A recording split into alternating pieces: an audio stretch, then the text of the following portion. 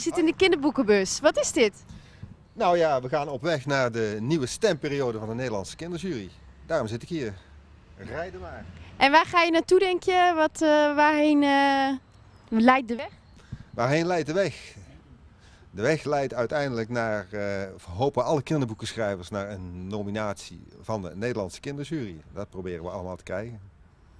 En wat heb je vandaag gedaan? Wat is er vandaag gebeurd? Vandaag is iets heel belangrijks gebeurd, want de Senaat van de kinderjury is geïnstalleerd. En dat zijn zes jongens en meisjes in twee leeftijdsgroepen die eh, alle boeken gaan lezen voor de Nederlandse kinderjury. En die ook straks hun eigen prijs nog mogen uitreiken uiteindelijk. En wat heb jij met de prijs? Want je, bent al 100, en- je hebt al 106 boeken geschreven. En wat is er vorig jaar gebeurd?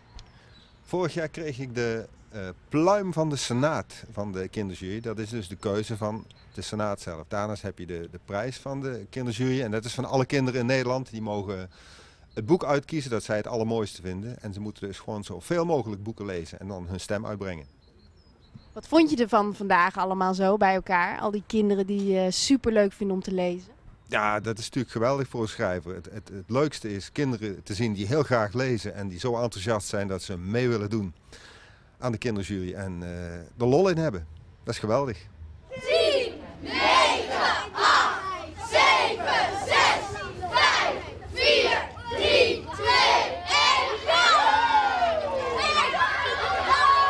Alle kinderen van Nederland, jullie mogen allemaal meedoen met de Nederlandse kinderjury. Ga lezen, kies het boek uit dat je het mooiste boek vond van het afgelopen jaar en breng je stem uit op www.kinderjury.nl.